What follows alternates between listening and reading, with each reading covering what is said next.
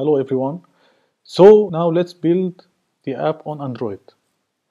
Building the app on Android is much easier than the case in, uh, of iOS.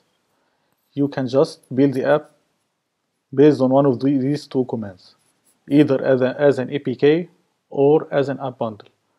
APK will just uh, create the APK for the app, which is the, the application. You can anyone can download it uh, and install it. The uh, app bundle is better to, to optimize the app size on the Play Store. Uh, the APK and the app bundle are downloaded when they are downloaded. They are, they are 50 megabytes. But when the app bundle is uploaded on the uh, Play Store the size that appears on the the Play Store itself optimizes the the app bundle and reduces the size to 25 megabytes. So we can uh, we can start with any of them. Now I'll start with APK just to show how to download the app. You can also download the app bundle. So if I here the copy this command and enter it here. It will take some some time to build. I will generate a new key store. Expo should handle this for sure if you are not logged in again you should log in to Expo account. But uh, mainly for the terminal you will need uh, for the first time only to log in afterwards. It will uh, publish it. so the app is now ready for for being built. After after being uploaded the build process will start to enter in a queue. The queue will be shown here if I logged into my Expo account okay once the build starts here the build is queued.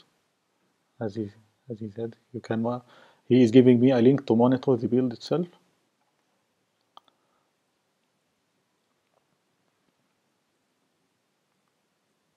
So the build now is queued.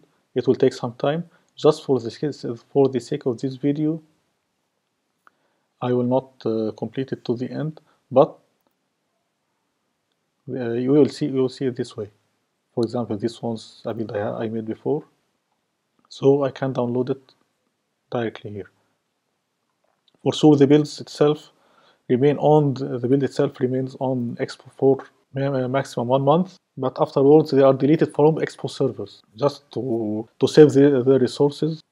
So uh, this this is the case just, just for uh, for Android after you download the APK or the app bundle you will need to create a Play Store account. So, so uh, to upload an app to App Store you need Google Play Console.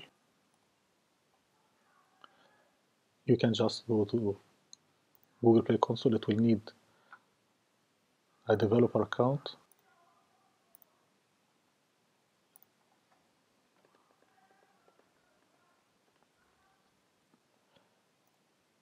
this will be the form to create the developer console. It costs $25